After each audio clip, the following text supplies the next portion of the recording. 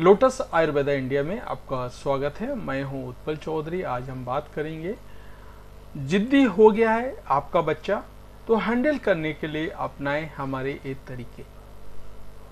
तो आइए शुरू करते हैं आज का वीडियो, लेकिन उससे पहले बोलना चाहूँगा, चैनल आपने अभी तक सब्सक्राइब नहीं किया है तो चैनल को सब्सक्राइब कर लें, बेल आइकन की घंटी बजा दें, जिससे हमारे आने वाले सभी वीडियो सबसे पहले आपको मिले। तो आइए शुरू करते हैं।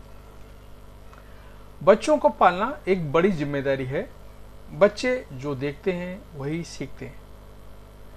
ऐसे में अगर आपका बच्चा चिड़चिड़ा और जिद्दी है तो पहले इस बात के बारे में जानने की कोशिश करें कि आखिर वो ऐसा क्यों है। कई बार घरों में पेरेंट्स के बीच लड़ाई झगड़ों को देखकर भी बच्चे जिद्दी और चिड़चिड़े हो जाते हैं। तो वहीं बच्चों के जिद्दी होने के पीछे मोबाइल भी एक बड़ी वजह है। बचपन से ही माता पिता बच्चे के हाथ में मोबाइल थमा देते हैं। ऐसे में अगर आप उससे मोबाइल दूर करेंगे तो वह जिद्दी हो जाएगा। कई बार जिद्दी बच्चे अपनी बातों को मनवाने के लिए भी कहीं भी रोना शुरू कर देते हैं। ऐसे में पेरेंट्स को उन्हें चुप कराना मुश्किल हो जाता है। हम जानेंगे जिद्दी बच्चे को शांत करने और उन्हें संभालने का तरीका। जिद्दी बच्चे को कैसे शांत करें? रोते हुए जिद्दी बच्चे को शांत कराने के लिए आप उसकी डिमांड पूरी करने की बजाय उससे बात करें। बच्चा उस वक्त आपकी हर एक बात सुनेगा क्योंकि उसे अपनी पसंद की चीज़ चाहिए। ऐसे में आप बच्चे को समय दें, ना कि उस पर गुस्सा करें।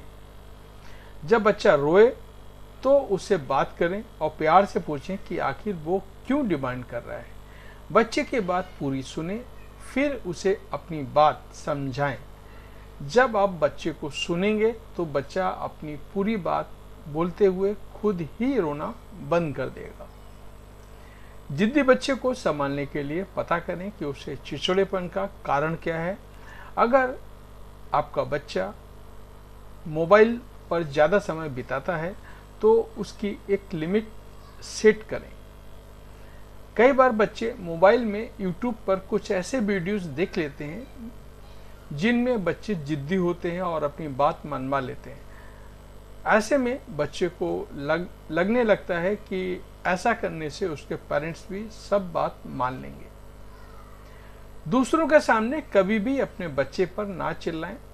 बच्चे से जब भी बात करें तो ध्यान रखें कि आपकी आवाज़ तेज ना हो।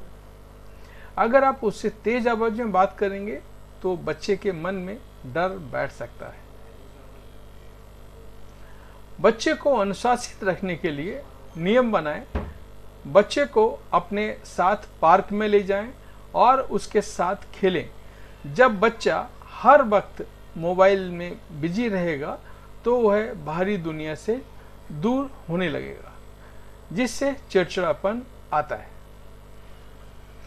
कई बार बच्चे अपने मन की बात माता पिता से कह नहीं पाते हैं। ऐसे में आप उनसे बात करें और समय समय पर उनके साथ बाहर घूमने भी जाएँ।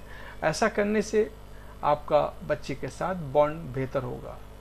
ये था हमारा आज का वीडियो। आपको कैसा लगा कमेंट करके ज़रूर बताएँ। धन्यवाद।